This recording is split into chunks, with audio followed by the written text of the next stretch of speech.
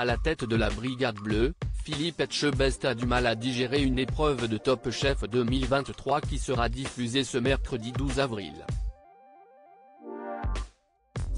Encore une soirée bien relevée ce mercredi 12 avril dans Top Chef. En effet, pour ce septième épisode de la saison, il va falloir faire rimer gastronomique et économique. Pour la première épreuve, CIST sur un marché que les neuf candidats encore en lice vont faire leurs emplettes afin de cuisiner des produits du quotidien pour en faire des plats extraordinaires, selon Stéphane Rothenberg. Le principe, dans chaque brigade, un candidat cuisinera une entrée, un autre un plat et le dernier un dessert. Mais avant de passer derrière les fourneaux, leur ticket de caisse sera épluché par l'animateur. Pour chaque partie du menu, celui ou celle qui aura la facture la plus élevée ne pourra pas cuisiner et ira directement en épreuve éliminatoire.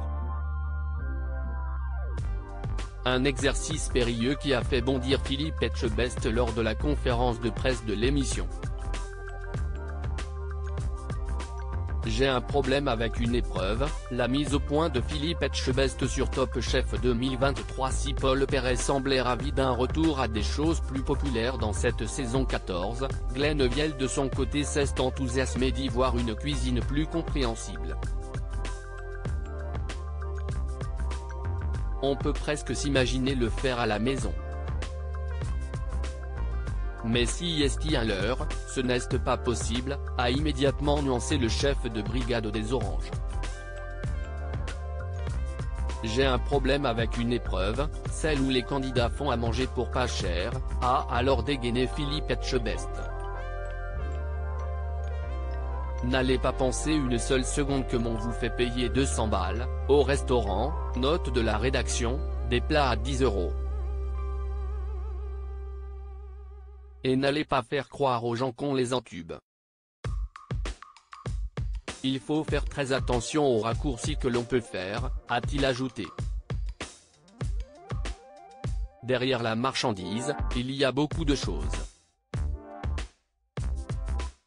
Dans un restaurant, il y a les charges, le personnel, qui représente la moitié du prix d'un menu.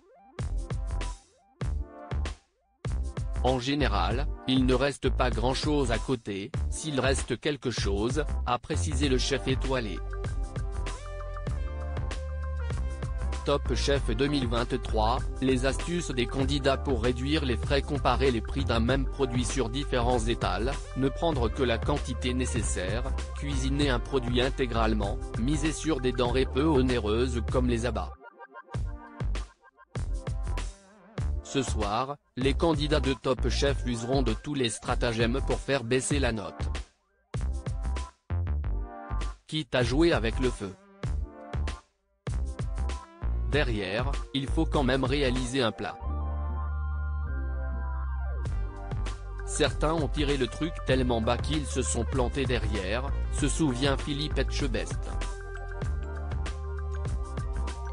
Pour savoir de qui il s'agit, il faudra être devant M6 dès 21h10 ce mercredi 12 avril. À lire aussi Top Chef 2023, voici la date de diffusion de l'épisode spécial La guerre des restos.